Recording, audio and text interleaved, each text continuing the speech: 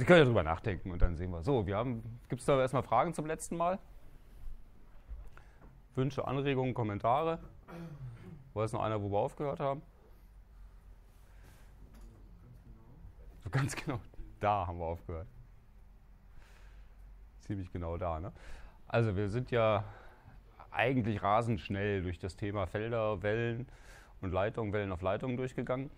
Ähm, rasend schnell auch deswegen, weil das ja eigentlich im dritten Semester oder vierten Semester schon für, für Sie gemacht wurde. Nicht? Also das war jetzt ja nur noch mal so eine ganz kleine Auffrischung mit ein paar Bildern.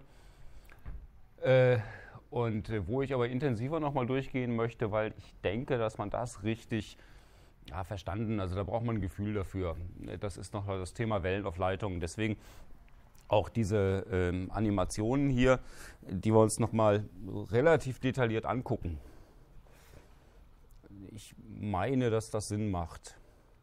Wir haben das letzte Mal uns das hier angeguckt, wenn die, äh, die Sinuswelle in einen 50 Ohm Abschluss läuft. Das heißt, da passiert eigentlich nichts. Sie haben eine reine Wanderwelle und an jeder Stelle, das ist das Entscheidende, an jeder Stelle hier geht, kommt das Maximum mal vorbei oder das Minimum mal vorbei. Es gibt also auch, man sieht es ja auch, das wandert einfach von links nach rechts und verschwindet dann die Energie. Ne?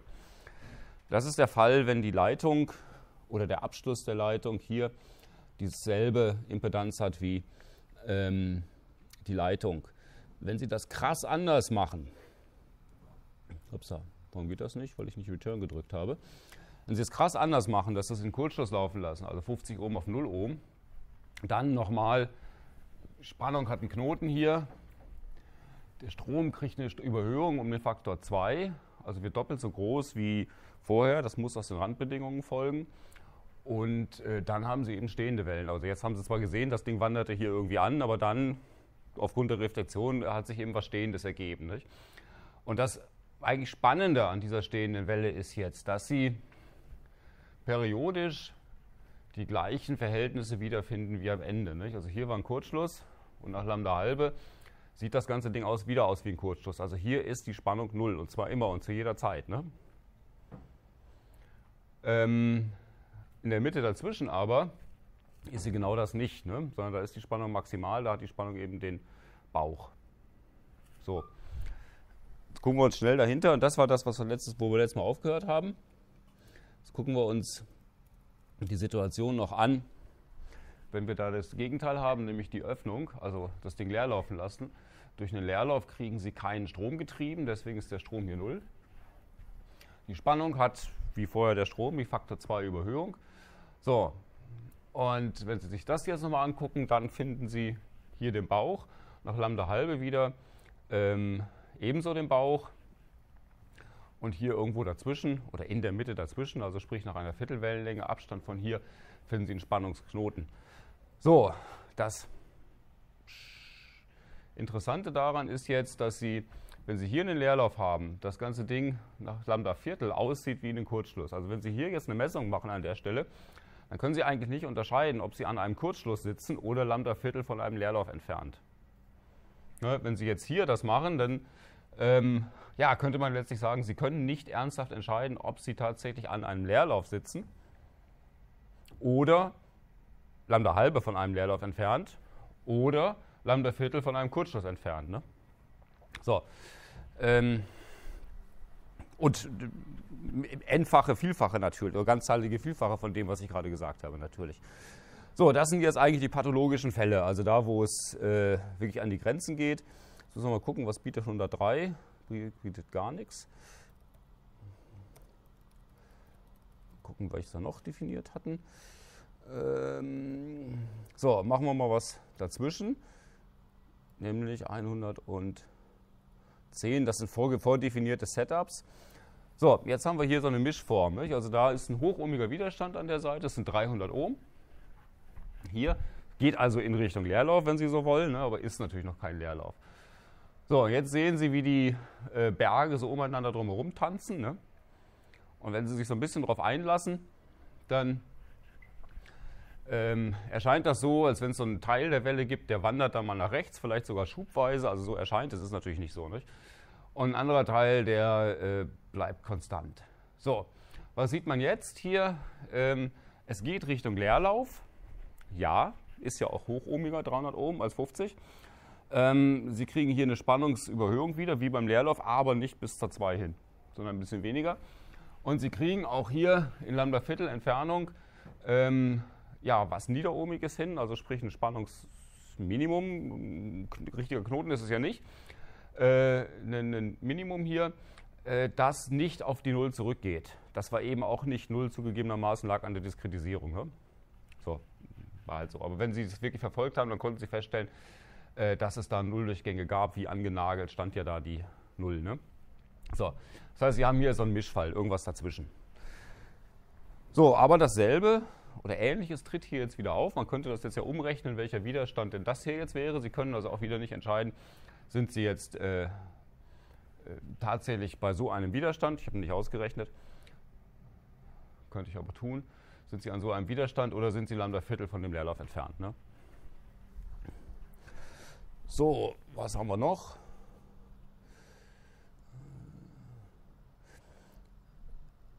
Und jetzt kommen wir eigentlich in das, was es interessant, noch interessanter macht. Wir haben nach wie vor eine 50 Ohm Leitung, 300 Ohm Widerstand hier hinten, schicken eine Welle drauf, die muss jetzt ein bisschen komisch anfangen. So, und dazwischen haben wir ein Lambda-Viertel langes Stück einer Leitung mit einer Impedanz von 122 Ohm. Steht da oben übrigens auch, sonst wüsste ich das auch nicht aus dem Kopf. Jetzt warten wir das mal einen Moment ab.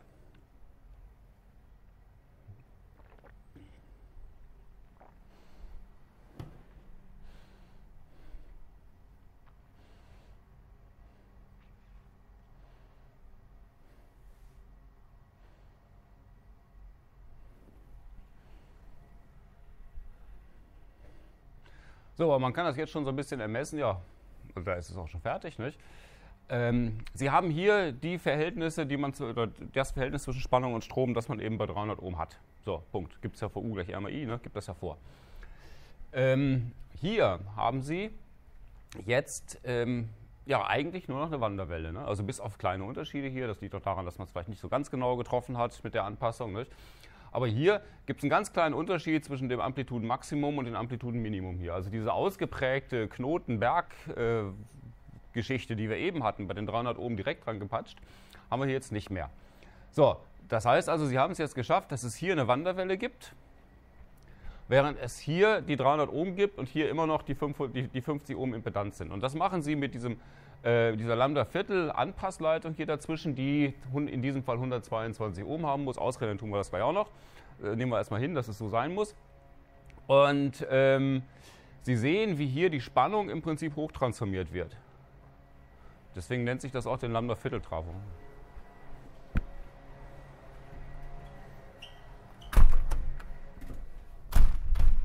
Erstaunlich, dass man die. Naja.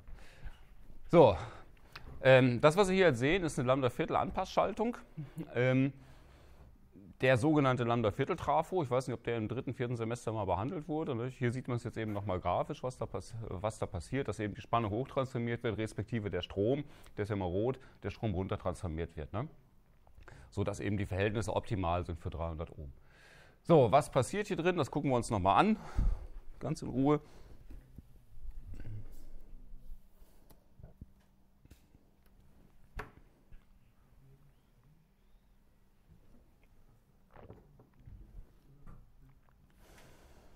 So, jetzt kommt die, der erste Teil der Welle an.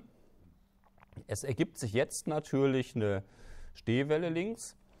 So, die geht ganz rechts durch.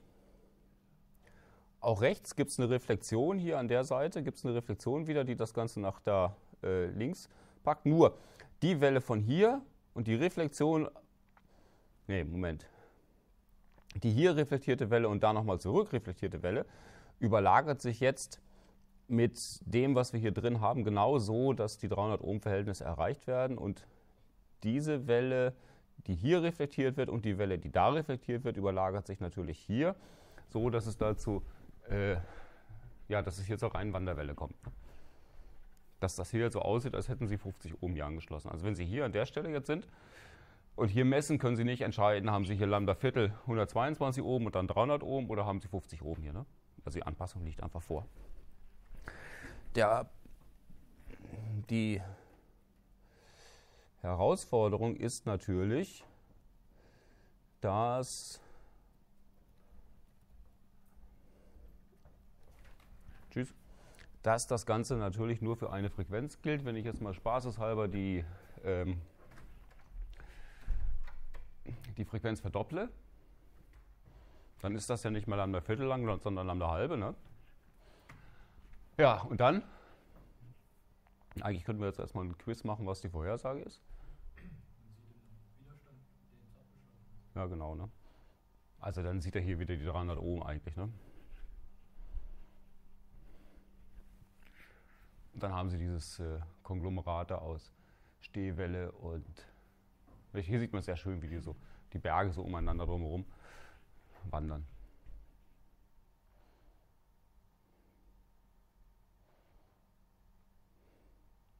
Sieht man jetzt auch eigentlich sehr schön, dass, es, dass dieses, dieses Teil hier jetzt fast unsichtbar erscheint, ne, mit Lambda halbe lang. Also die Verhältnisse sind jetzt überall eigentlich durchgängig, als wenn es jetzt irgendwie gar nicht da wäre. Ne?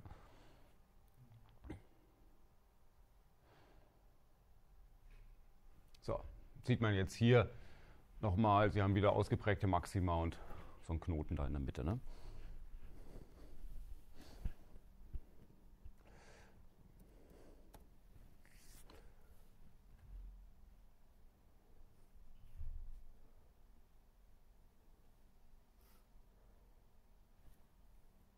Wollen Sie noch mehr sehen oder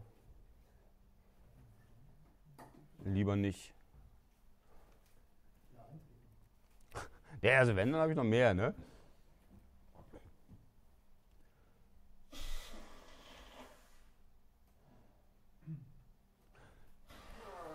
Na gut, das ist jetzt auch nur eine Spielart. Also hier wird jetzt ähm, hier haben wir 50 Ohm Leitung, hier haben wir 122 Ohm Leitung und hier haben wir 222 Ohm Widerstand, also eine Anpassung dieses letzten Leitungsstücks. Ne? So, und dann sehen Sie natürlich, dass Sie hier eine reine Wanderwelle haben. Da ist schön alles in Phase, Spannung und Strom. Ne? Die wandert da einfach von links nach rechts durch. Ähm, ist ein bisschen hochtransformiert worden oder es gibt andere Verhältnisse zwischen Spannung und Strom als auf der 50 Ohm Leitung. Auf der 50 Ohm Leitung sehen Sie aber aufgrund der Reflexionsstelle hier, ähm, dass das so eine Stehwelle, so ein Stehwellengemisch ist. Ne? So. Also ist jetzt man hat es nochmal gesehen, aber ja. Also wenn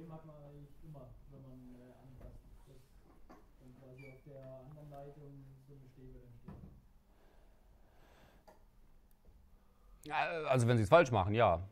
Also wenn Sie zwei Leitungen einfach aneinander packen, nicht? also was weiß ich, der Standard wäre ja, Sie haben eine äh, 50 äh, Ohm HF-Leitung und schließen da eine 75 Ohm Leitung an.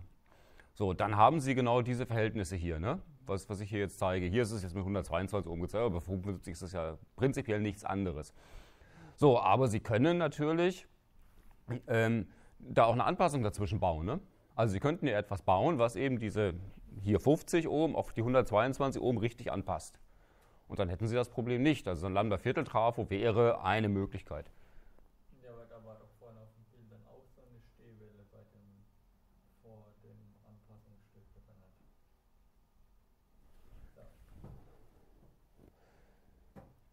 Sie meinten das, was ich eben gesagt habe, was. Äh,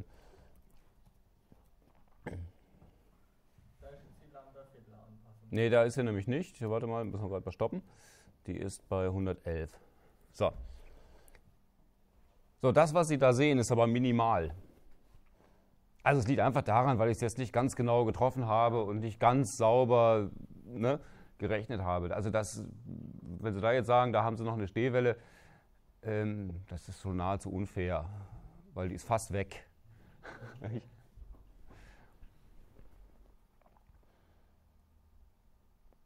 da sehen Sie es auch. Dieses die beiden sind jetzt nicht so ganz in Phase, das ist sicherlich richtig, nicht? Aber, aber fast eben. Ne? Also das ist. Ja, ein Fehler ist das auch hart ausgedrückt, aber sowas in der Richtung, ja. ja und ganz hinten am Abschlusswiderstand sind Sie auch in Phase. Ja, das sind sie ja sowieso. So, also wenn Sie einen ohmschen Widerstand haben, sind Spannung und Strom in Phase, da können Sie sich auf den Kopf stellen. Damit kann man zwei Semester gut foppen. indem man einfach mal fragt, äh, wie ist der Cosinus Phi am Widerstand? Da rechnen Sie irgendwas aus, dann kommt da irgendwas raus. Aber könnt ihr einfach hier eins hinschreiben. Also die Frage war ein bisschen verklausuliert, aber naja, eingefallen. So, also sehen Sie hier der Unterschied äh, zwischen dem Minimum und dem Maximum, der ist, der ist nicht vorhanden. So. Also wenig.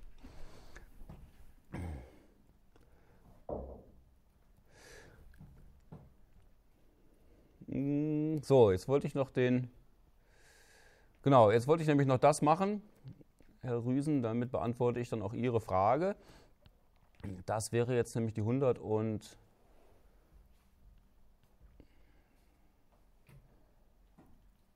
ja genau, die 120. Da haben wir jetzt nämlich das, ähm, wie man es richtig macht. Ne? 50 Ohm, 122 Ohm und dazwischen Lambda Viertelstück, das die Anpassung macht.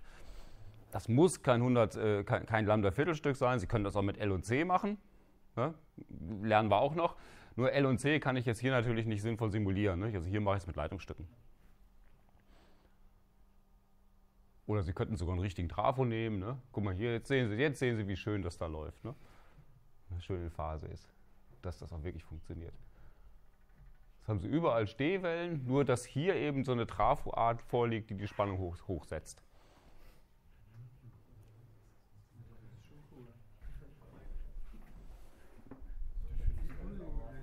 Also ich finde diese, äh, also ich finde eigentlich diese Animation auch ganz cool, wenn man es nämlich mal einfach so ein bisschen erlebt, ne, was da wirklich passiert. Man kann das alles wunderbar ausrechnen. Ne, und äh, dieses Ausrechnen ist ja immer noch nicht, ich habe es verstanden. Ne? So ein Ausrechnen ist ja gut, ich kann damit umgehen und ich kann es irgendwie auch vielleicht sogar technisch nutzen, aber es ist eben nicht, ich habe es wirklich drin. Ne? So, und hier sehen Sie eben genau das. Sowas würde man eben auch tun, wenn man 50 Ohm auf 75, da sind die Verhältnisse nur etwas weniger, ne, anpassen würde oder hier auf 122, das sind willkürlich gewählt, die Zahl. Und 300, ist, 300 Ohm ist ein großer äh, Sprung von 50 auf 300. Deswegen ist das äh, numerisch ein bisschen schwieriger zu erfassen hier. Da müsste man mehr diskretisieren, feiner diskretisieren, auflösen, dann kommt man in Stabilitätsüberlegungen und dann dauert es auch viel länger, ne, also noch länger. Also von daher so, auch hier kann man es natürlich wieder falsch machen. Ne?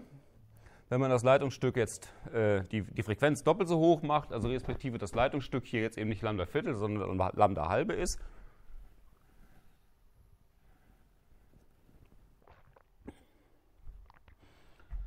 Was ich auch hier bei dieser Animation schön finde, ist, dass Sie sehen, wie sich die Reflexionen entwickeln.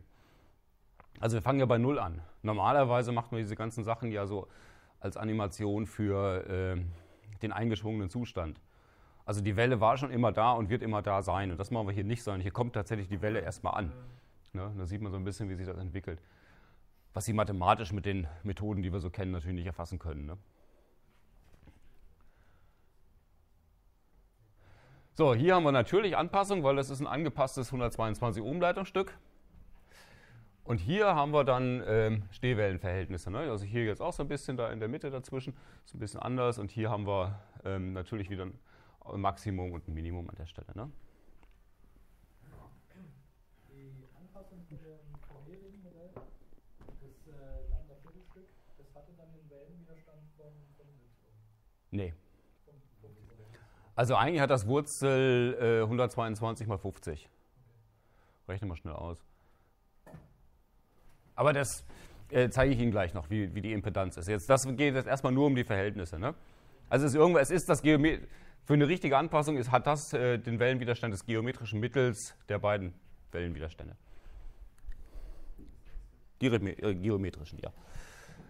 Gut, so, dann haben wir noch was. Jetzt gucken wir uns mal an, was macht denn eine kurze Leitung aus. Jetzt sind wir schon dabei, dann ziehen wir das auch durch. So, da haben wir jetzt 50 Ohm, 50 Ohm und in der Mitte haben wir eine Lambda 20. Leitung 200 Ohm. Also eine Störstelle, wenn Sie so wollen. Ne? Also irgendwie, was weiß ich, ein Stecker oder irgendwie mal was falsch gemacht, einer am Fuß auf dem Kabel oder sowas. Ne? So, was passiert da? Passiert da was? Aber schon, meine schon krass, 200 Ohm ist natürlich auch eine Nummer. Ne? So, rechte Seite klar, voll abgeschlossen. Und schon bei einem Lambda 20 Stück, da links, haben Sie eine merkliche Reflexion hier. Ne? Also das ist eigentlich die Aussage da drin. Ne? Also gut, das ist jetzt hier nicht ganz bis, Ende durch, bis zum Ende durchgezogen. Ne? Ähm, das ist die Aussage da drin. Ne? Schon Lambda 20 macht da einen Unterschied. Und das sind ja bloß 18 Grad, wenn Sie so wollen, in der Phase. Ne? So. Das waren 200 und jetzt machen wir mal ein bisschen was angenehmeres. Jetzt machen wir mal, geht es mal gleich schneller. Machen wir mal 55 Ohm, also 10% falsch. Ne?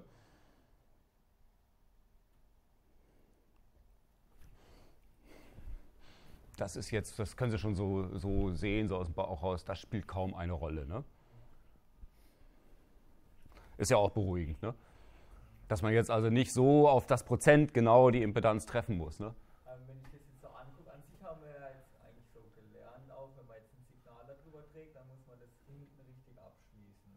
Ja, machen wir. Wenn man es jetzt aber nicht hinten richtig abschließt ähm, und nur auf der, auf der Stadtseite richtig abschließt, also dass dann quasi die rücklaufende Welle dann verschwindet, ähm, dann müsste man doch trotzdem das Signal erkennen können an der anderen Stelle, wenn da vorne das richtig ist. Ja, kann man auch. Ja, klar kann man. Das heißt, eigentlich müsste man jetzt, wenn man, wenn man das dann aufsplittet, dann auf überträgt, dann ähm, müsste man eigentlich nicht richtig abschließen. Ähm, Sie haben eins, Sie, Sie haben eins äh, vernachlässigt dabei, nämlich Rauschen und Leistung. Also ja, grundsätzlich, das Signal geht darüber. Äh, es ist auf, der, auf dieser Seite immer abgeschlossen. Ähm, das heißt, das, was hier jetzt reflektiert wird, hier wandert dahin und verschwindet da, taucht auch nicht mehr auf. So, das heißt, Sie kriegen eigentlich genau die Signalform auf irgendeine Art und Weise, die Sie reingespeist haben, hier auch zu sehen. So, aber nicht mit der optimalen Leistung. Das ist der Punkt. Sie kriegen in diesen Abschlusswiderstand, nicht? dieser Abschlusswiderstand ist jetzt ja irgendwie so ein, so ein Eingangsverstärker beispielsweise, so von irgendeiner äh, Mimik. Da haben Sie nicht ähm, die optimal mögliche Leistung in diesen Eingangsverstärker reingekriegt. Und damit haben Sie nicht das optimal mögliche Signal-Rausch-Verhältnis. Das ist der Punkt. Deswegen muss man das machen. Wenn es einfach nur darum ging, oh, Leistung habe ich und Rauschen gibt es sowieso nicht, ne? Äh, zum Glück gibt es ja Rauschen. Ne? Stellen Sie sich mal eine Welt ohne Rauschen vor. Ähm, das wäre alles abhörbar. Sie könnten ja mit einfach nur ein paar Verstärkerketten alles hörbar machen. Das hat tatsächlich gesellschaftliche, physikalische Einflüsse. Ich könnte mir ein Mikrofon irgendwo hinstellen und abhören, was sonst wo hinter Wänden oder sowas gesprochen wird. Ich brauche nur eine Verstärkung. Die Verstärkung muss nur groß genug sein. Rauschen schafft Privacy. Rausch ist klasse. Also Rausch ist wirklich gut, finde ich wirklich wichtig. So, nur an dieser Stelle muss man eben ein bisschen drum kämpfen. Ne? Und das ist in diesem Bild natürlich nicht drin. Ne? Dass hier eventuell die Welle oder die Leistung zu niedrig wird. Und Sie wollen maximale Leistung da reinkriegen, also deswegen müssen Sie ja. da eine Anpassung machen. Ne? Oder andersrum, mal angenommen, das hier ist jetzt hier so eine Endverstärkerkette und das ist die Antenne. Ähm, dann wollen Sie ja die Leistung hier aus der Antenne abstrahlen ja. und nicht wieder zurückkriegen. Ne? So, deswegen haben Sie erzeugt. Ja.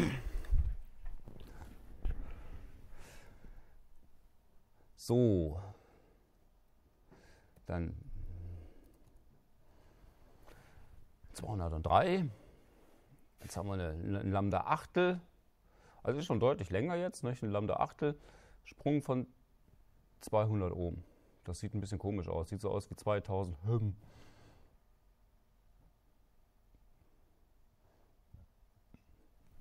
Nicht, da sehen Sie schon, dass die Amplitude hier auch merklich geringer wird. Ne? Also geht gar nicht mehr alles durch. Sie verlieren was. Das ist das, was ihnen hinterher dann fehlt ne, an Signalleistung.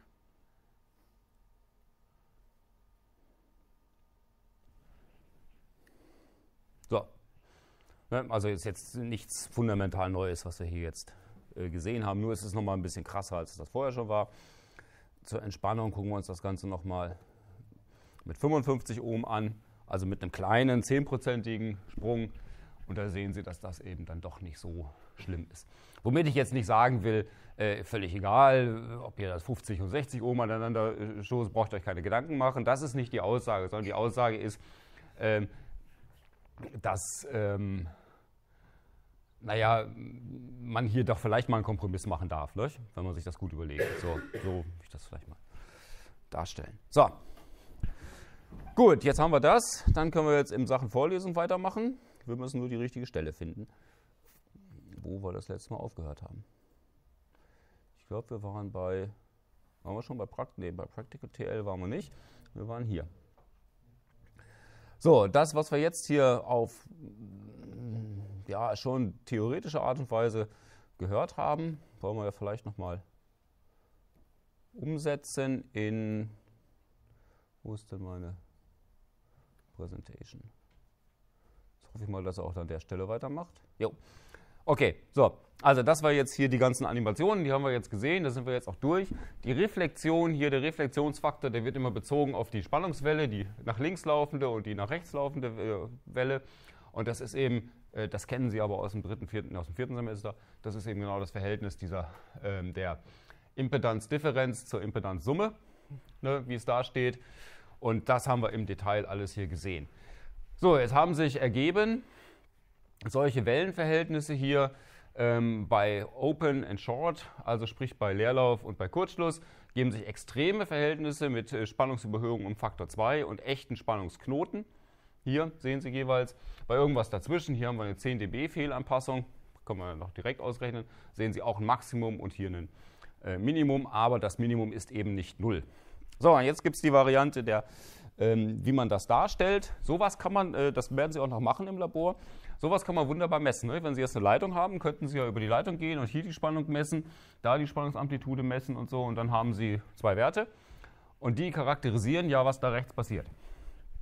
Also, und wenn Sie das getan haben, dann ähm, könnten Sie die, das ist die einfachste Variante, einfach mal ins Verhältnis setzen, nämlich das Maximum der Amplituden äh, bezogen auf das Minimum der Amplituden und dann kriegen Sie das VSWR, also das Voltage Sending Wave Ratio, so heißt das. Ähm, das ist eben Maß für die Fehlanpassung hier am Ende der Leitung, definiert als Umax zu Umin. Die Positionen da sind nicht da drin, deswegen ist das auch ein rein skalarer Wert. Und zwar ein rein skalarer Wert, der zwischen 1, also Umax und Umin können maximal gleich sein. Es kann nicht Umax kleiner als Umin sein, dann wäre es nicht Umax. Ne? Äh, und unendlich. Es kann Umin ja 0 werden. Kann das liegen. Ne?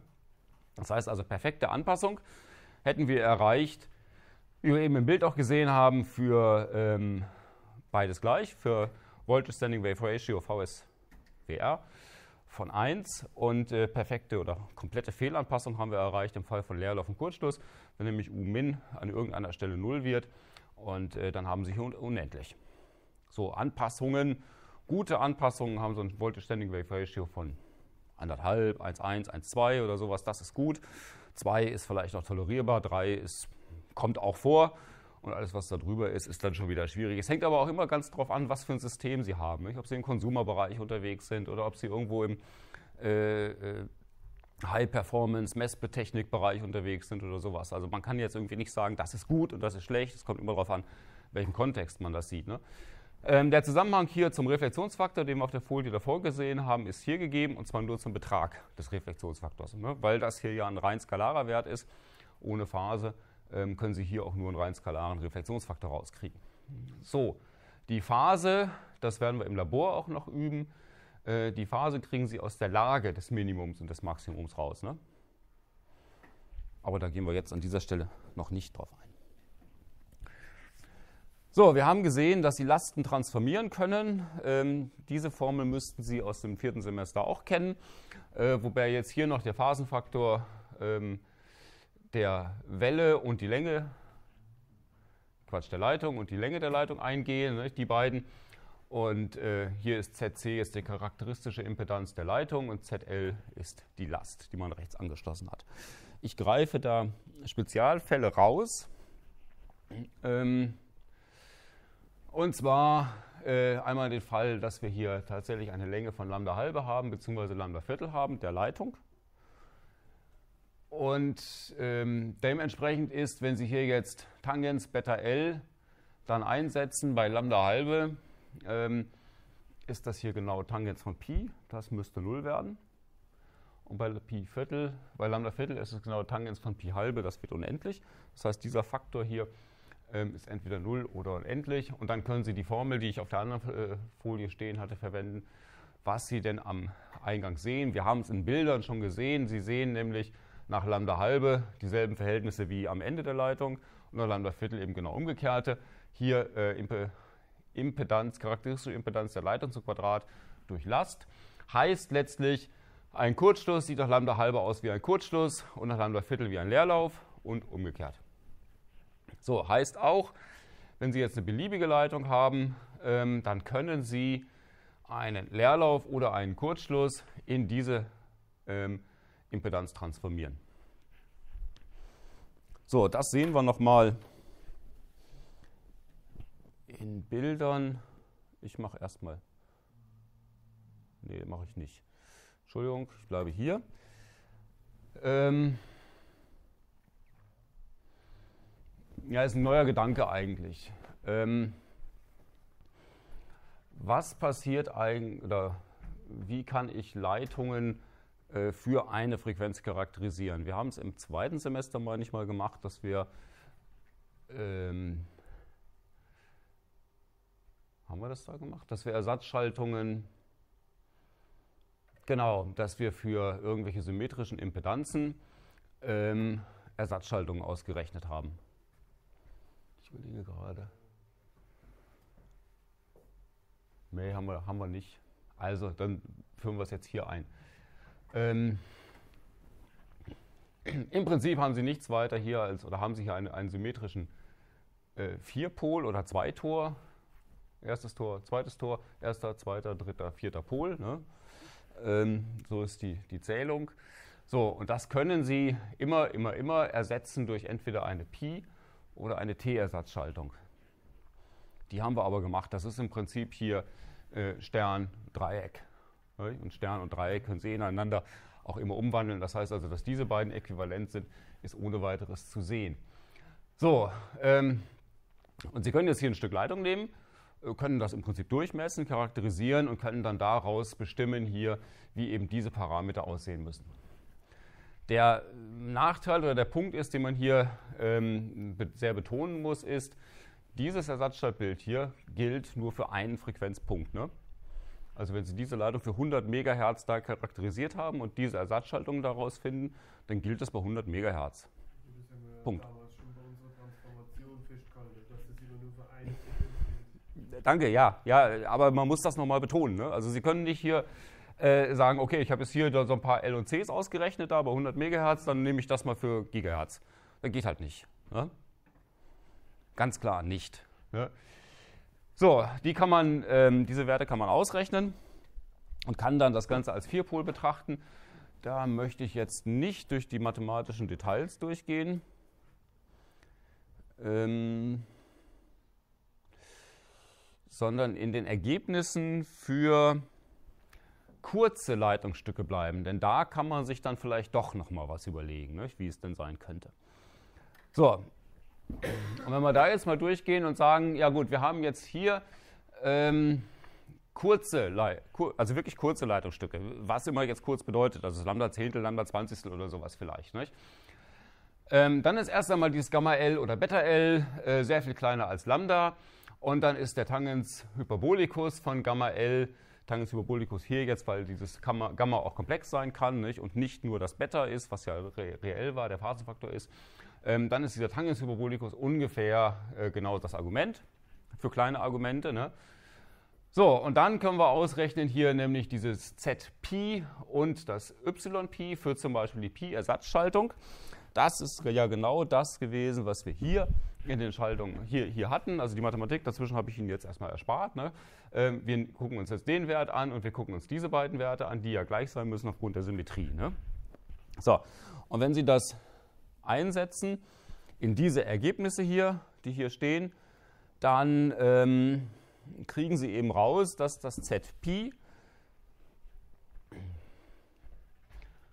ungefähr das hier sein muss. Also J Omega mal Wurzel und so weiter. Ähm, Im Prinzip die Lichtgeschwindigkeit oder 1 zu T Lichtgeschwindigkeit hier mal ähm, charakteristische, charakteristische Impedanz mal Länge. So, das ist eine Spule oder eine Induktivität. Ne?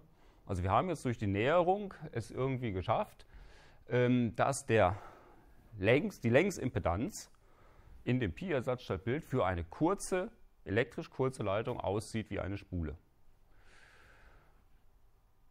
Das ähm, YPi so und so weiter J Omega durch Z0L, vor allen Dingen das J Omega steht hier oben, so wie es da auch oben steht, nur reden wir hier jetzt über eine Admittanz und nicht mehr über eine Impedanz, das ist also eine Kapazität. Sollte jetzt nicht so übermäßig verwundern, ne, wenn Sie eine Leitung, eine kurze Leitung haben oder überhaupt eine Leitung haben, dass erst einmal die, das, die Längsimpedanz sich wie eine Spule verhält und das, was nach unten geht, die Querimpedanz, äh, wie ein Kondensator. So, die Frage ist jetzt, in welchem Verhältnis stehen die zueinander und was dominiert. Ist das eine jetzt eine, ist es jetzt eher eine Impedanz, weil der da zählt, oder ist es eher eine Kapazität, weil der da zählt, nach unten? Ähm, es kommt auch auf die Frequenz an. Ja, ja, ist richtig. Es kommt auch auf die Frequenz an, aber, äh, und das ist das, was Sie in der Hand haben. Die Frequenz haben Sie eventuell gar nicht in der Hand, die ist Ihnen ja vorgegeben. Ne? Äh, es kommt auf die Geometrie an und die Geometrie bestimmt das Z0. Und wenn das Z0 jetzt groß ist, hier, dann haben Sie eher eine Induktivität. Und wenn das ZL, ne, dann wird der Wert hier groß und der wird klein.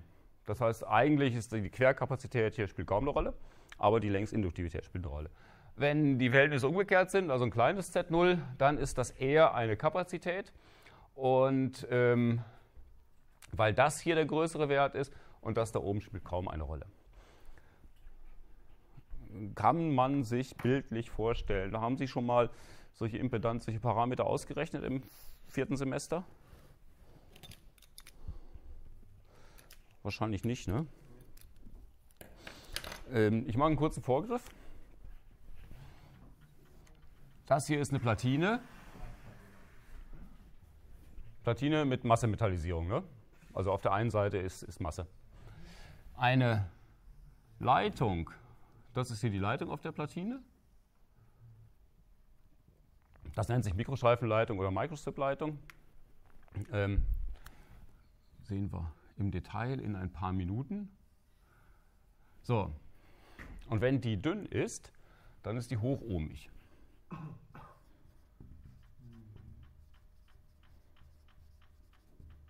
Also Z0 groß. Und wenn die dick ist,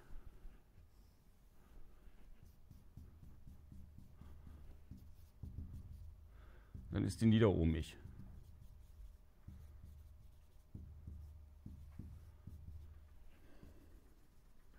So, können Sie sich einen Querschnitt vorstellen, wenn Sie hier jetzt mal so einen Querschnitt durchmachen und das äh, malen wir dann hier hin, dann sehen Sie einmal hier die niederohmige Leitung, die wäre das hier äh Quatsch, die hochohmige Leitung, das hier. Und die niederohmige Leitung wäre sowas. So, dass das hier, was das hier jetzt ist, das hm, hat man vielleicht nicht so im Bauch, ne, aber dass das hier eher ein dickes C ist, weil nämlich große Fläche gegenüber Massefläche liegt, ist offensichtlich. Ne? Also wird man natürlich sagen können, okay, wenn ich jetzt sowas Niederohmiges habe, dann ist das ähm, eher eine Kapazität und wenn ich was Hochohmiges habe, dann im Umkehrschluss ist dann eher eine Induktivität. Ne? Das Coole daran ist, Sie können jetzt, und das ist so der, so der Weg, wo ich hin will, ne? Sie können jetzt mit verschieden gestuften ähm, Leitungselementen eine, eine, eine äh, Kette aufbauen von Induktivität, Kapazität, Induktivität, Kapazität, was ein Filter ist. Ja, Sie könnten jetzt ohne weiteres nur mit gestrukturierten Leitungen hochohmig gleich L, niederohmig gleich C, hochohmig gleich L, niederohmig gleich C, also einfach so eine LC-Kette aufbauen. Ne? Und damit haben Sie schon einen Tiefpassfilter. Also ohne, dass Sie irgendein C oder ein L wirklich eingelötet haben. Ne? Gut, ähm, niederohmig, schauen wir noch dazu.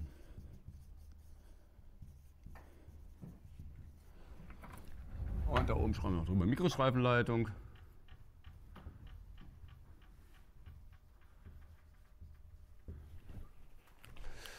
Gut. So, für das C-Ersatzstabbild muss ich es, glaube ich, nicht nochmal äh, durchführen einzeln. Das steht da schon. So, jetzt gehen wir wieder ins Krasse. Gucken wir uns nämlich mal ähm, sogenannte Stubs an, also Leitungsstücke. Leitungsstücke, die ähm, entweder kurzgeschlossen sind oder in den nächsten Folien wird das zu sehen sein, leer laufen. So, was machen die da und was soll das eigentlich? Gucken. Auf oder zu?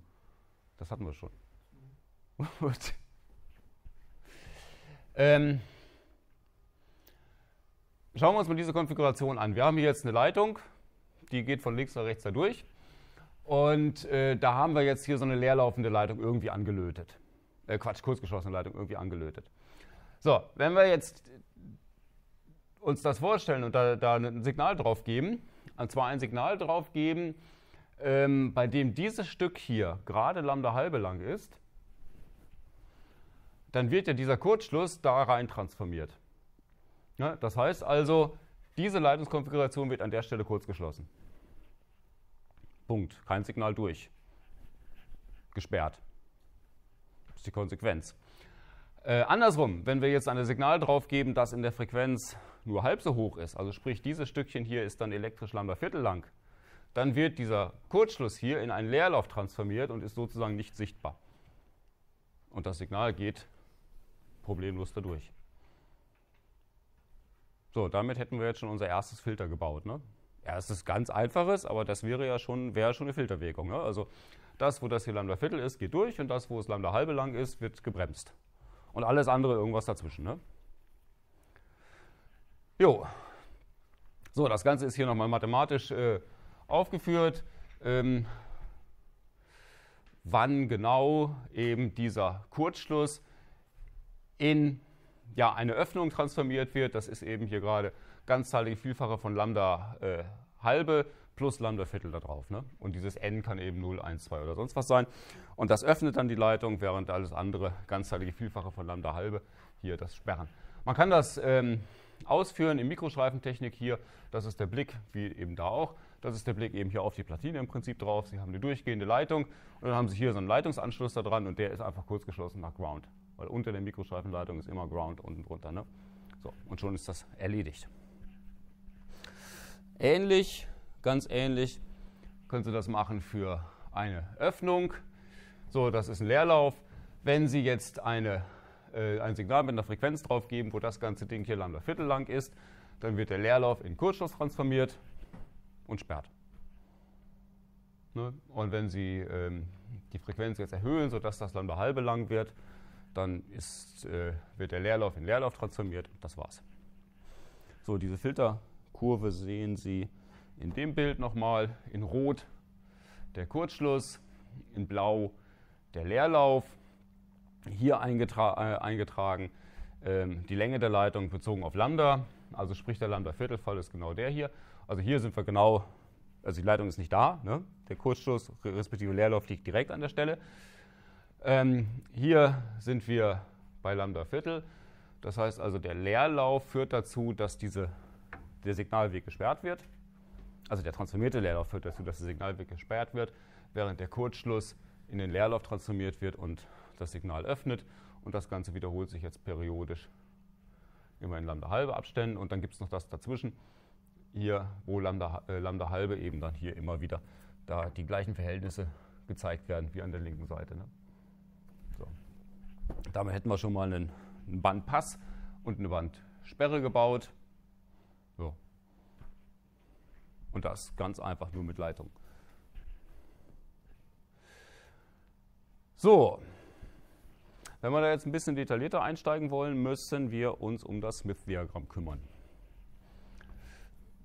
Das Smith-Diagramm ist ja, so ein bisschen das Brot- und Butter-Tool, wenn es um die lineare äh, HF-Technik geht. Also alle Impedanzen, alle Leitungen, Anpassungen und so weiter kann man darin darstellen.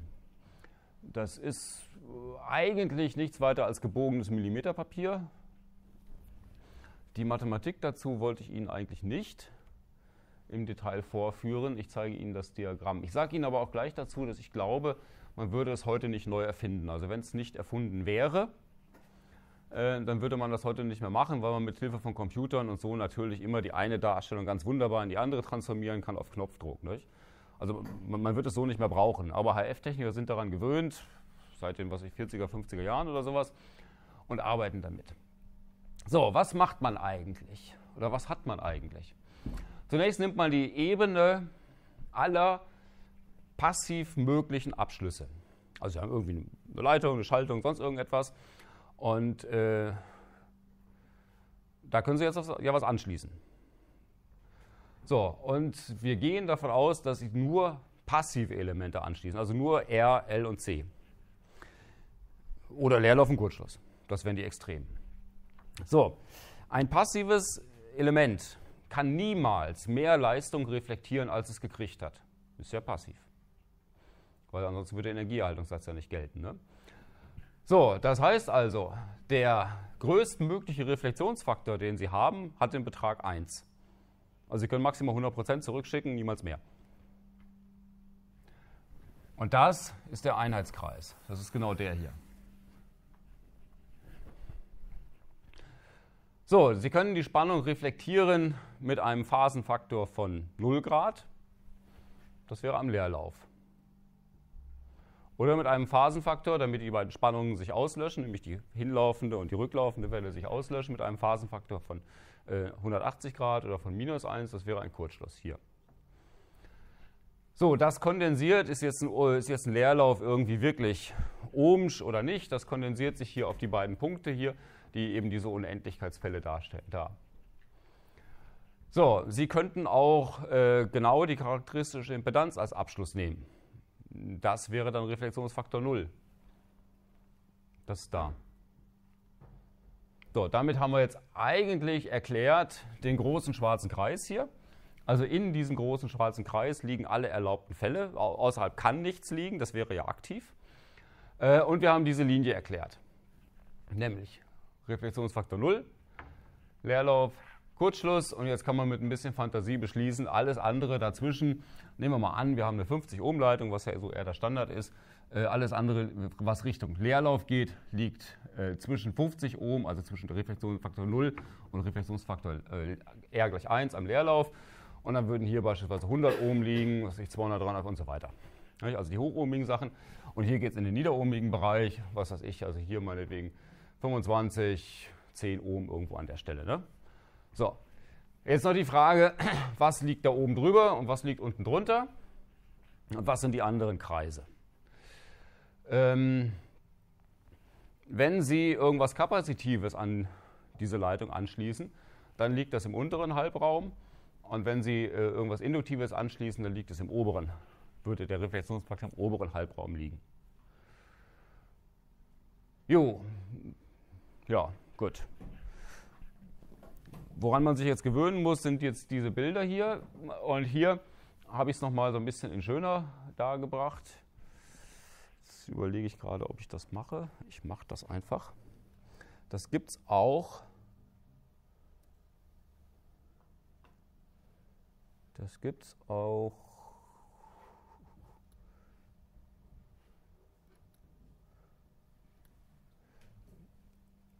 Ich muss mal gerade einmal suchen.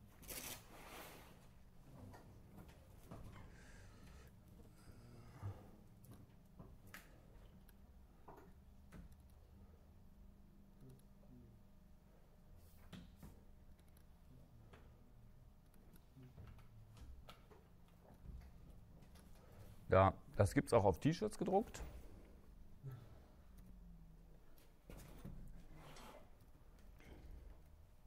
Ne, das ist ähm, wohl Pamela Anderson, ich hätte sie jetzt so nicht erkannt, obwohl das eigentlich meine Generation ist. Äh, und äh, wie gesagt, man kann das eben auch auf T-Shirts drucken. Hier ist es jetzt eben um 90 Grad gedreht. Und ja. Das weiß ich nicht, ob ihr das bewusst ist. Also, kann das unterstellen, aber vielleicht war sie auch einfach auf so einem Meeting da, was da, also das, wo, wo die T-Shirts ausgegeben wurden. Wer weiß. So. Oder sie hat das T-Shirt irgendwie anders und fand das eben cool. Also, äh, es, was ich damit sagen will, Smith-Diagramm ist ja normalerweise wird das ja so als irgendwas, irgendein Tool verwendet oder angesehen, das Studenten quälen soll. Ne? Äh, vielleicht ist es auch einfach cool. So, Zumindest auf T-Shirts gedruckt. Bitte? Ja, können Sie auch machen. Ne? Also es hat ja auch was. So, ähm, das Smith-Diagramm selber. Äh, ups, kann ich das nicht? Kann ich nicht. Ach Mann.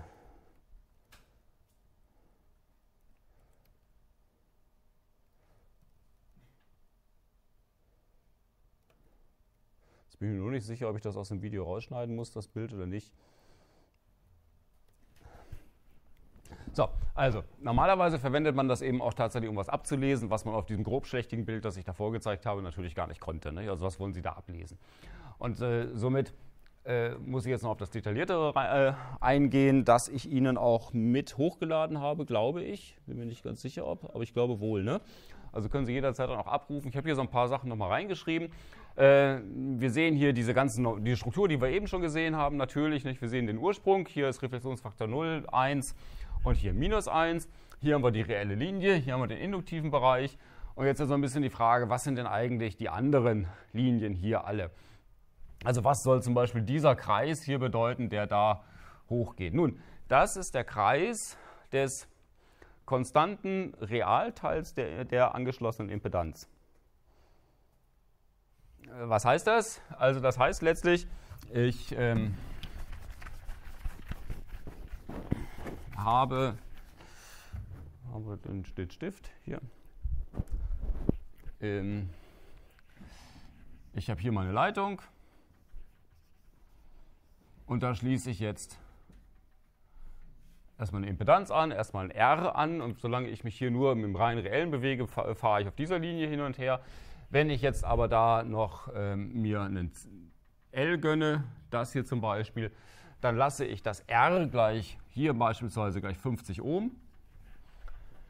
Dann bin ich auf dem Kreis. So, und wenn ich jetzt aber das L dazu packe, dann wandere ich auf diesem Kreis hier mit der Induktivität hoch und bleibe auf diesem Kreis. Das heißt, wenn ich jetzt den Reflexionsfaktor messen möchte, dann würde ich sagen, okay, R bleibt 50 Ohm und ich komme meinetwegen hier oben irgendwo raus, dann wäre das hier, also dieser Abstand vom Ursprung, der Reflexionsfaktor wie Sie sich leicht überlegen können, wenn ich das L hoch mache, respektive die Frequenz hoch mache, also Omega L groß wird, dann ähm, geschieht natürlich Folgendes, mit Omega mal L gegen unendlich gehend ende ich irgendwann im Leerlauf. Ne? Also wenn ich eine große Induktivität reinmache, dann sperrt sie einfach die hohe Frequenz und dann bin ich im Leerlauf gelandet. So, äh, denselben Spaß könnte ich jetzt auch machen mit einem C. So. Wenn ich das tue und das zunächst ein sehr großes C ist, hier funktioniert es ja genau andersrum, nicht? dann bewege ich mich hier genau in dem Bereich und je kleiner ich das C mache, dann wird es nämlich irgendwann nichts weiter als Leerlauf. Ne?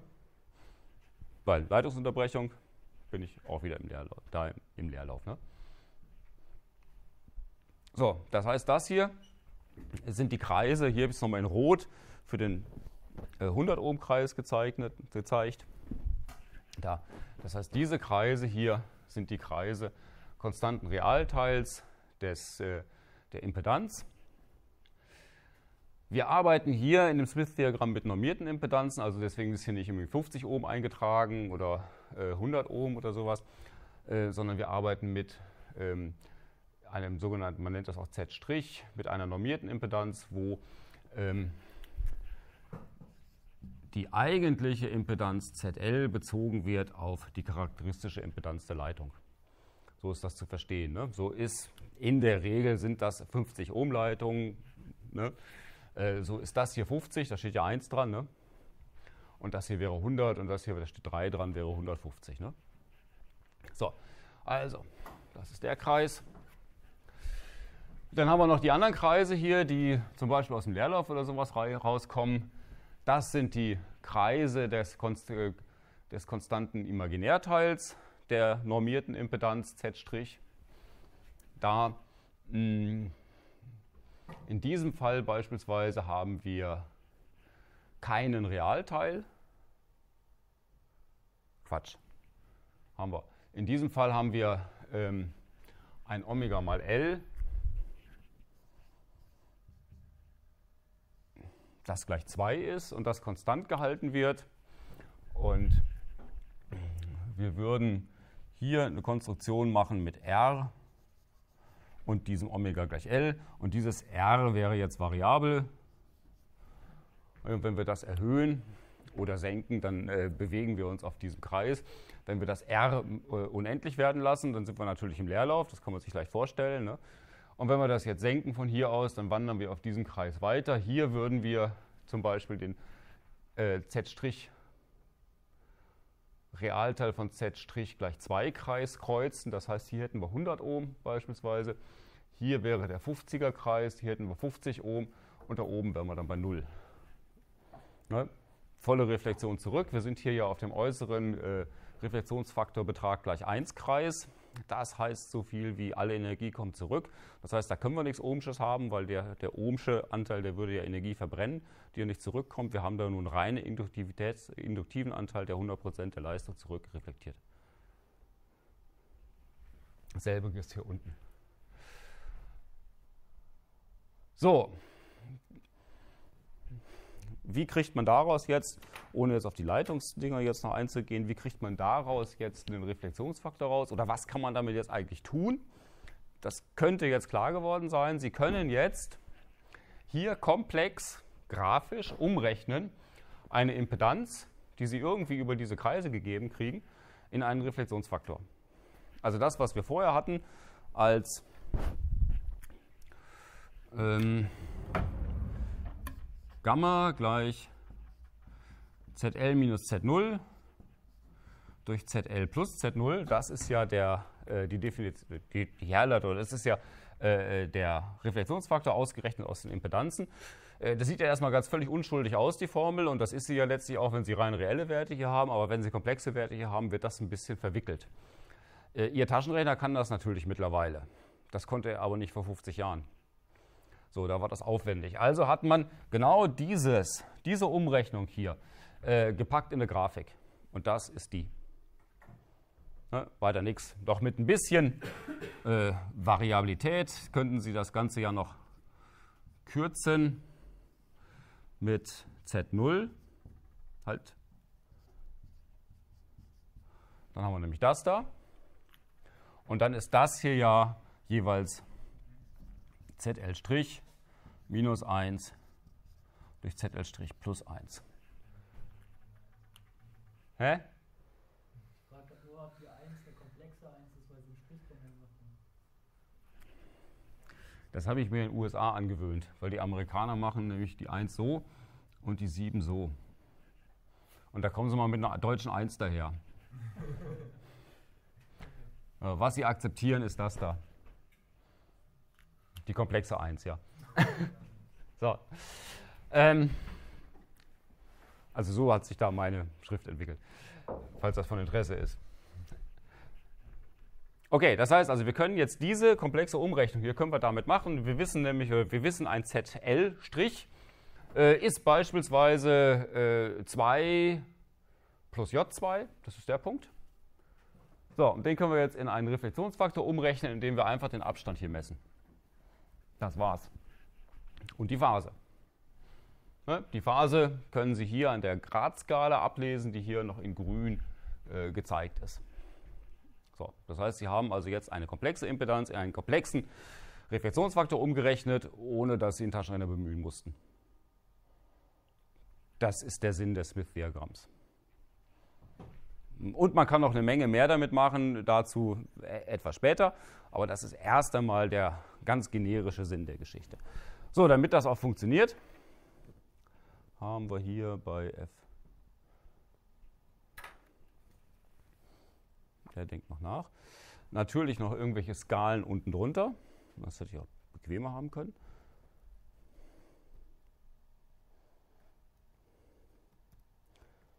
So, da gibt es unten drunter in dem Smith-Diagramm solche Skalen hier, die da in der Mitte dann nach links oder rechts gehen. Und äh, da können Sie jetzt ausrechnen, umrechnen ähm, den Reflexionsfaktor, zumindest den Betrag dessen, in äh, Leistungsreflexion, in äh, Dezibel, hier in Reflexionsfaktor der Leistung hatten wir schon, in äh, den Reflexionskoeffizienten für Spannung oder Strom. Nicht? Und ja, das war's. Wie macht man das praktisch? Das muss ich Ihnen hier der Maschine mal zeigen. Und zwar dann auch von Hand. Ich habe übrigens für Sie alle hier nochmal. Lass mal rumgehen.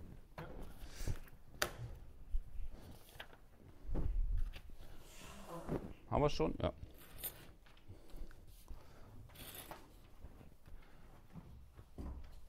So, da ist das Smith-Diagramm. Bin mir jetzt nicht sicher, ob man da jetzt auf dem Video irgendwas erkennen würde. Hm? Wahrscheinlich eher nein. Macht das eigentlich Sinn, wenn ich hier das Licht ausmache? Wird das der Kontrast dann besser? Wollen wir mal ausprobieren, ne? So.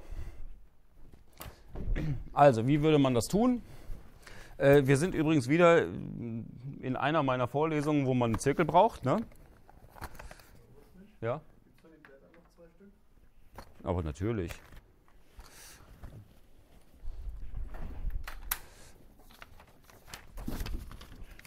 Sind sie leer ausgegangen?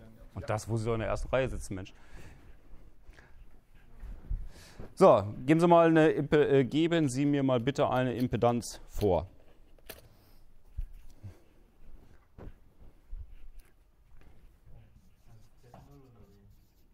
Ne, Z0 ist 50 Ohm.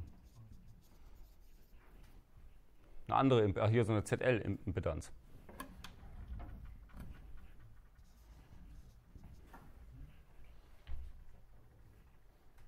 Sprich. 100 was? Hat das auch? Ja, 120 und dann brauchen wir noch ein J, ne? 120 Ohm.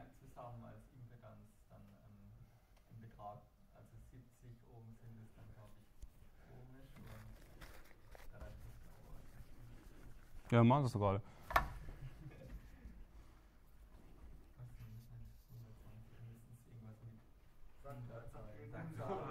Rechne doch einfach mal. Kommt Taschenrechner raus. Was? Plus J. 100 Ohm. Okay, so. Dann haben wir ZL gleich. Ähm,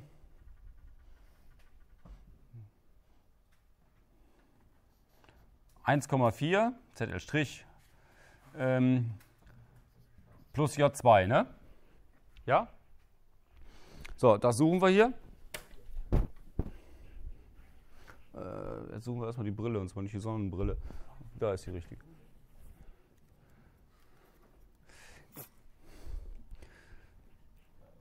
So, das ist nicht so ganz sauber. Also was hatten wir jetzt hier? 1,4.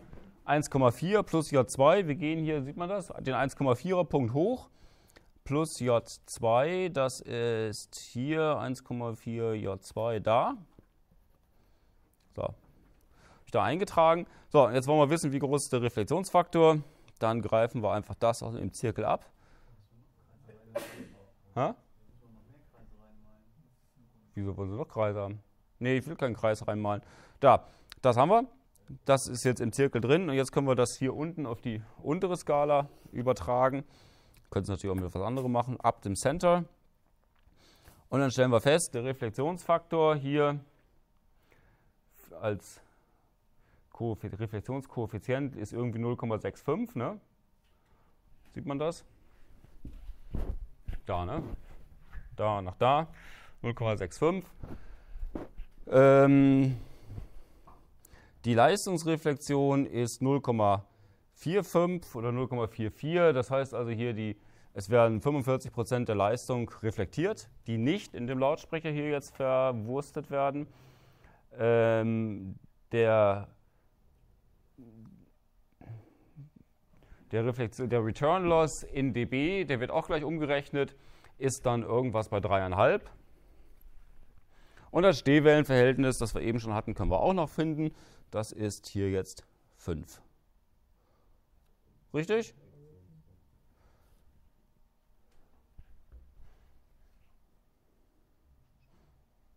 Zufrieden? Ja, ne? So, wir könnten noch es noch umdrehen. Da sehen Sie noch sowas wie Return, ne, Reflection Loss. Das heißt also hier, ach, das fällt nach rechts raus.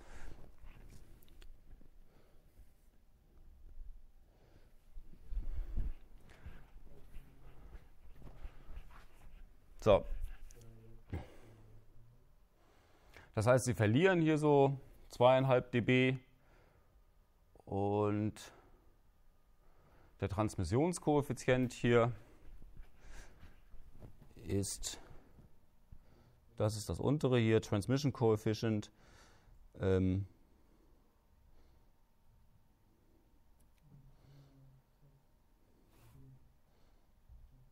genau, ist 0,6. Ne?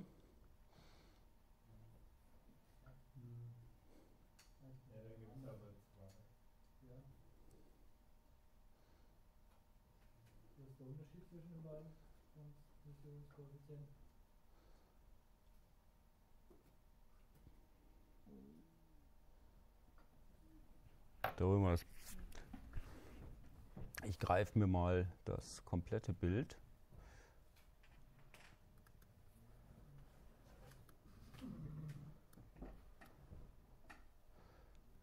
So, und da sieht man es auch. Ne? So, das ist leider im Ausdruck nicht richtig rübergekommen, kommt da auf dem Bild auch nicht rüber. Das eine ist der ähm, für die Leistung eben, also wie viel Leistung da durchgeht. Und das andere ist der Koeffizient eben für die Amplituden, ne? wie die Amplituden sich umrechnen.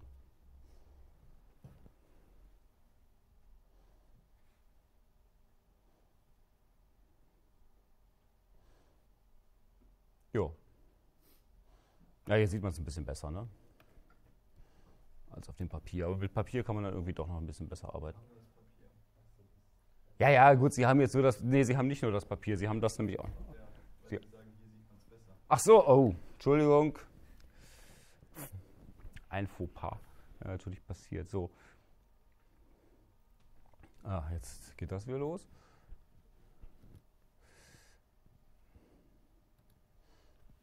Es gibt ja die kritischen Kommentare im YouTube. So. Von den Tausenden, genau, von den Tausenden, die, es geschafft haben, bis dahin zu gucken. Ne? Äh, also, hier haben Sie das einmal für, die, äh, für Spannung und Strom, also E für elektromotorische Kraft letztlich. Nicht? Ähm, und hier für den äh, äh, Transmissionskoeffizienten hier für die Leistung. So. Und da, die Skala ist eigentlich ganz schön. Sie sehen hier nämlich, wenn äh, Sie das hier als Reflexionskoeffizient haben, also wenn Sie hier im, im Ursprung sind, dann gehen natürlich 100% in die, in, die, in die Last rein. Das ist ja genau das, was man will, deswegen macht man ja Anpassungen ne? Und keine Reflexion. So, und wenn Sie eben bis hier sind, gehen immer noch 99% rein und wir waren eben irgendwo bei 0,65 oder sowas. Ne? So, da kriegen wir also noch 65% der Leistung, die Sie der Last angeboten haben, gehen auch tatsächlich da rein. Muss man nicht gut finden. Ist auch nicht sonderlich gut.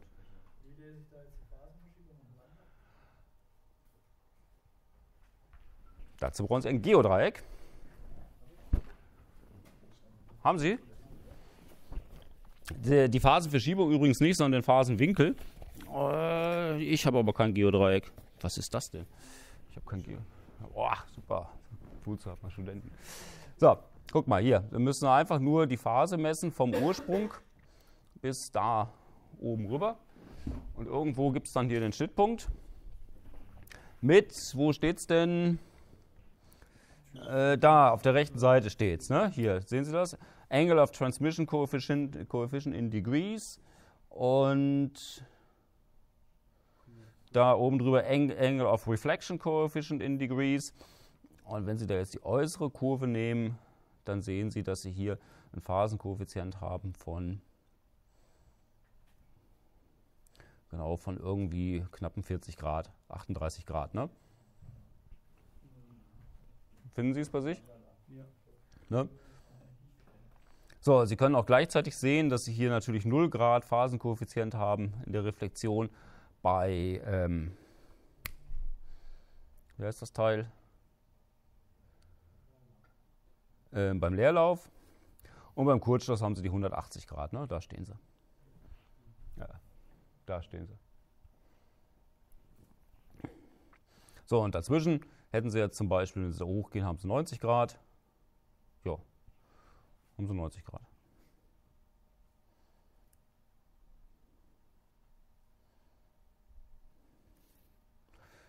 Gut. So, jetzt könnten Sie also komplex angeben, hier den Reflexionskoeffizient als, ich habe ihn ja noch in der, im Zirkel, äh, und zwar müssen Sie dann den Koeffizienten nehmen für, das, ähm, für die Spannung oder den Strom von 0,65 E hoch J 38 Grad.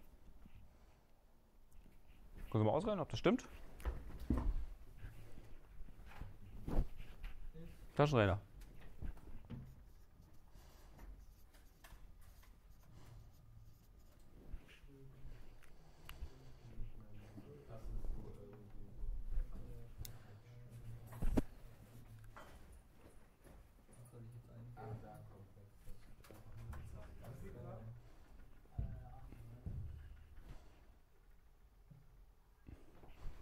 Die no- normierte Impedanz in diese Formel rein, um den komplexen Reflexionsfaktor zu bestimmen und das Ganze im Euler-Format bitte angeben.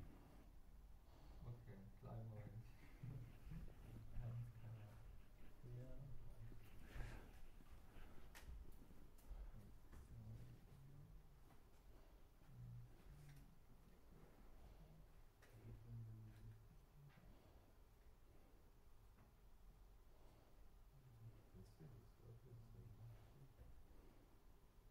Ja, er macht gleich weiter. Perfekt. 0,65, 2, genau. Und ähm, 67, also bin ich bei 67,8 Grad.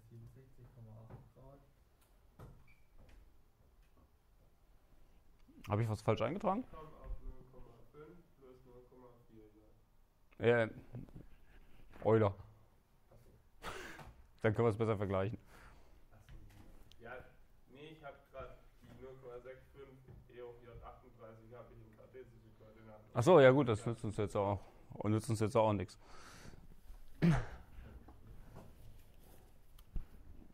Ja, haben Sie es? Habe ich mich vertan? Glaube ich nicht.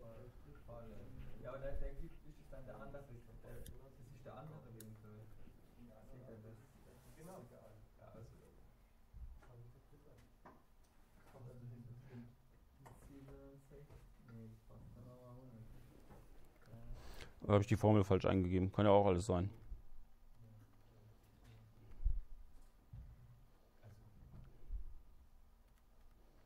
Gut, dann nehme ich da mal die Plus und Minus sofort raus.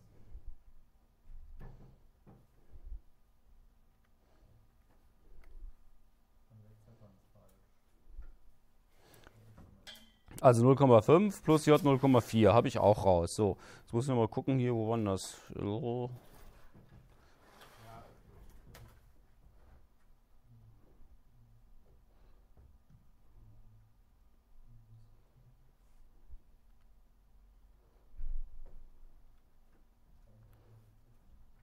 ...38 Grad habe ich raus jetzt. Also ich habe es jetzt nachgeredet hier. Ich kriege das genauso raus. Also, hatten Sie wahrscheinlich irgendwas falsch eingetippt oder so? Also ich, ich kriege mathematisch genau das daraus, was da steht. Also im Rahmen der Zeichengenauigkeit, ne? Selbstverständlich. So, und diese, äh, Sie sehen schon, diese Tipperei, da ist jetzt äh, selbst mit einem Computer, der, selbst mit einem Taschenrechner, der komplexe Zahlen beherrscht, nicht so einfach. Äh, deswegen hatte man also, haben kluge Leute, insgesamt der Herr Smith hier, eben das Smith-Diagramm erfunden. Ne? Und das hat jetzt auch noch Praxisrelevanz, oder? Ja. Ja, ja, natürlich. Also HF, viele HF-Techniker arbeiten noch damit. Also Sie finden das Ganze auch ähm, in, äh, auf, auf Messgeräten. Wenn Sie mit dem Netzwerkanalysator arbeiten und so, dann ist ähm, eine mögliche Darstellung, die, die auch häufig verwendet wird, genau diese mit dem Smith-Diagramm. Also das, äh, also man verwendet das noch. Man verwendet das auch, um Anpassungen zu konstruieren und so. Und das werde ich Ihnen gleich zeigen. Man kann damit auch arbeiten. Also was wir jetzt gemacht haben, ist ja nur der, der ganz einfachste Fall. Ne? Die Umrechnung einer, ähm, äh, äh, einer Impedanz in einen Reflexionsfaktor. Umgere äh, umgekehrt geht es natürlich genau so. Geben Sie mir einen Reflexionsfaktor vor, nicht, mit Betrag und Phase. Den trage ich Ihnen ein und dann kann ich das ablesen. Mach mal. Komm, hier, da, Sie. Ich brauche einen Reflexionsfaktor.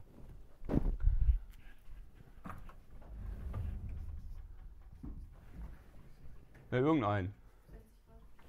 Okay, 60 Grad und Betrag? 0,8? Vornehmen, okay.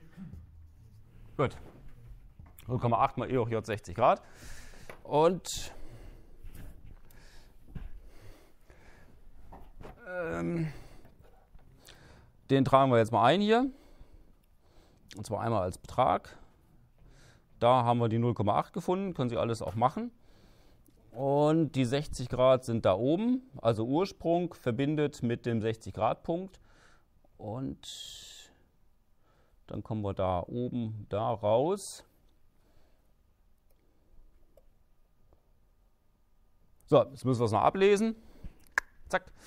Können wir auch machen. Das heißt, wir sind, bewegen uns jetzt hier auf dem Realteil. Gucken wir mal, wo wir da rauskommen. Da sind wir hier bei 0,4, das wäre 0,5, was ich, 0,45 oder so beispielsweise. Und beim Imaginärteil sind wir hier beim 1,68er Punkt, sowas, ne? 0,45. ZL' gleich 0,45 plus J, was hatte ich jetzt gesagt? 1,68, ne?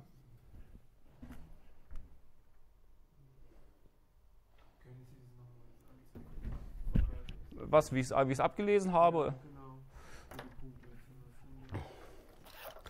Nehmen wir doch, wir haben ja noch einen bunten Stift hier. So, schauen wir uns an. Der Realte wird ja bestimmt durch. Ach so, da haben wir, ah, wenn das das Problem ist, müsste er. So, da ist der Punkt. Und jetzt gucken wir, wo wir hier rauskommen. Das ist in etwa der Kreis, auf dem der liegen würde, der nicht genau eingezeichnet ist. Dann können wir hier an der Skala ablesen, wo der Punkt, wo, wo wir da sind. Ne? Und dasselbe machen wir hier.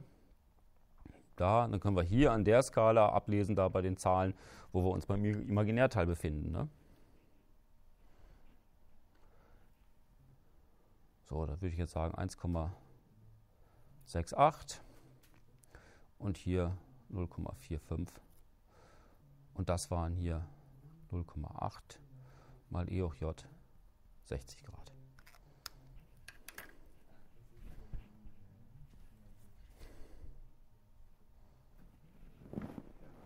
Ja?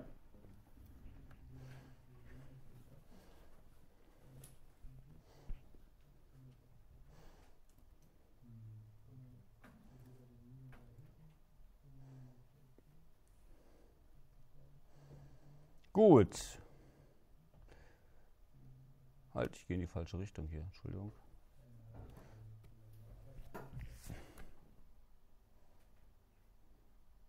So, damit haben wir die beiden Teile hier nochmal erläutert. Das können Sie natürlich als Referenz hier verwenden, wenn es dazu taugt.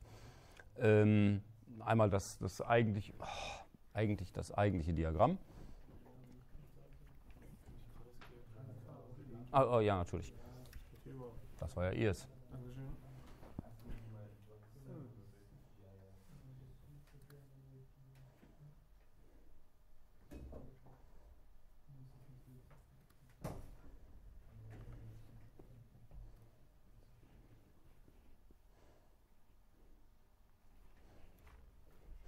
So.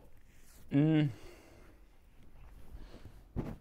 Damit kann man jetzt eine ganze Menge Spielereien betreiben, wenn man sich jetzt nämlich mal anschaut, was für Schaltungen man da jetzt im Smith-Diagramm hat und darstellen kann. So, äh, das hier ist das stilisierte Smith-Diagramm. Erkennen Sie alle wieder, ne? denke ich mal. Also so zeichnet man das auch dann ganz häufig. Ne? So ein paar Kreise ineinander und das ist eben jetzt das Smith-Diagramm. Ne? So, nehmen wir mal an, das hatte ich ja eben schon. Äh, wir haben jetzt hier einen 25 Ohm Widerstand. Wenn wir uns einem 50 Ohm Smith Diagramm befinden, nicht, dann haben wir also hier einen normierten Widerstand von 0,5. Ne, 25, 50 ist 0,5. Äh, das wäre jetzt erstmal der Punkt. Und wenn wir da jetzt ein L, die Induktivität anschließen, nicht, und die Induktivität zunächst mal klein ist oder die Frequenz klein ist, also letztlich Omega mal L klein ist, ähm, dann befinden wir uns nach wie vor an diesem Punkt oder entfernen uns nur ganz leicht davon und würden uns bewegen, wenn wir entweder Frequenz oder L oder beides hochmachen, auch so einem Kreis bis dahin. Das heißt, wir könnten jetzt also dadurch, dass wir jetzt das, nur das L in diesem Fall variieren, könnten wir ähm, da unterschiedliche Reflexionsfaktoren konstruieren, die in dem oberen Bereich hier liegen, ne? wieder gezeigt. Sie könnten auch, das ist hier jetzt nicht gezeigt, Sie könnten natürlich auch das R, also ein Realteil variieren, dann würden Sie sich hier auf dieser Linie erstmal zunächst mit dem Punkt verschieben und dementsprechend würden die Kreise, zeigen wir gleich auch noch was, würden die Kreise sich alle ändern. Ne?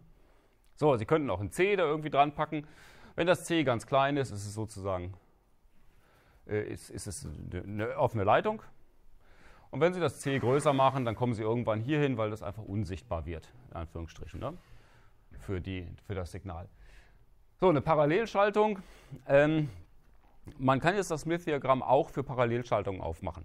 Das, was ich jetzt hier gezeigt hatte, war das äh, Smith-Diagramm für Impedanzen. Es gibt auch das für Admittanzen, was letztlich aus einer Punktspiegelung am Ursprung hervorgeht. Ich möchte da nicht zu sehr im Detail darauf eingehen, weil die Vorlesung hier nicht Benutzung des Smith-Diagramms ist, äh, sondern HF-Technik. Ich möchte Ihnen sagen, dass es das gibt. Ich glaube auch, dass die wenigsten Leute damit heute tatsächlich aktiv arbeiten. Also, dass man das verwendet, um irgendwas abzulesen und sich bildlich darzustellen, das ist, äh, glaube ich, noch gang und gäbe, das macht man noch. Aber dass man das tatsächlich verwendet, um dann irgendetwas da drin zu konstruieren oder so, das ist eher seltener. Da würde man computergestützte Tools verwenden, ne? praktisch heute. So, deswegen wollen wir das nicht unbedingt zu sehr vertiefen, aber trotzdem drüber sprechen kurz. Ne? So, nehmen wir mal an, wir nehmen hier jetzt ein L, das wir parallel zu diesem 25 Ohm Widerstand schalten. Was ist das da? Dann können Sie sich vorstellen, das L ist ähm, sehr klein. Naja, dann macht es eins, äh, es schließt das Ding einfach kurz. Wir haben also einen Kurzschluss. Und wenn das Ganze dann das L größer wird, dann wandern wir irgendwann hier hin. Und irgendwann ist das L so groß, dass der Widerstand das, die Induktivität überbrückt. Und dann sind wir eben wieder genau an dem Punkt. Ne? Das Ähnliche, aber in der Argumentation umgekehrte, für die Größen von C äh, passiert mit einer Kapazität ist im unteren Teil, wenn das C eben sehr, sehr groß ist, schließt es den Widerstand kurz. Wir befinden uns hier. Und wenn das C jetzt ähm, kleiner wird, hier, respektive hier ist gezeigt für größere natürlich, dann wandert man auf so einem Kreis. Das sind auch Kreise und das sind letztlich die hier gespiegelten Kreise. Ne, also diesen Kreis würden Sie auch hier irgendwo äh, gespiegelt finden und dann könnten Sie auch das damit arbeiten. Das gibt es äh, auch auf Ihrem Server. Ähm, beides ineinander. Wie gesagt, ich möchte es nicht zu sehr vertiefen. Dann sieht es nämlich so aus. Ja, eben, das ist sehr übersichtlich. Ähm, da finden Sie jetzt beide Smith-Diagramme, einmal das für die Impedanz, einmal das für die Admittanz ineinander gezeigt, in verschiedenen Farben immerhin. Gut, dass beides nicht rot ist. Ne? Ähm, das ist das Bekannte in Rot. Und das, was ich eben angedeutet habe, das für die Admittanzen, ist eben das in Blau hier reingezeichnet. Ne? So, und Sie würden sich jetzt hier den Kreis, den ich eben da in Grün angedeutet habe, das ist jetzt hier einer von diesen beispielsweise. Ne? So.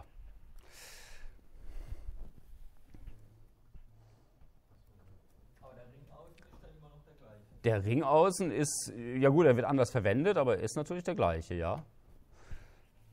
Also die äußere Begrenzung ist auch alles das, was erlaubt ist. Ne? Also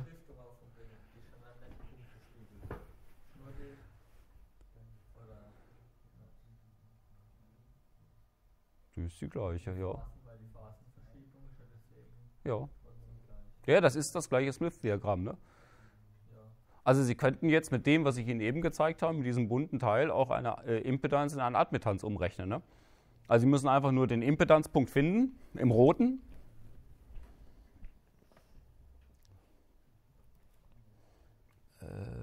Da.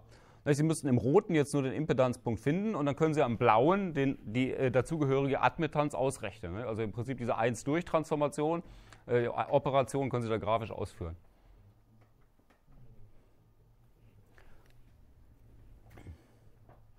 Dazu müssen sich nur die Phasen eben dann doch, äh, Herr Göbel, die Phasen müssen sich dann natürlich um, um, um Minus ändern. Ne? Also das, was vorher oben war, ist dann unten und so weiter. So. Gut, dann würde ich sagen, wie spät haben wir es denn? Ja, genau, es ist Viertel vor. Wir machen jetzt äh, Pause bis 10 und dann treffen wir uns wieder.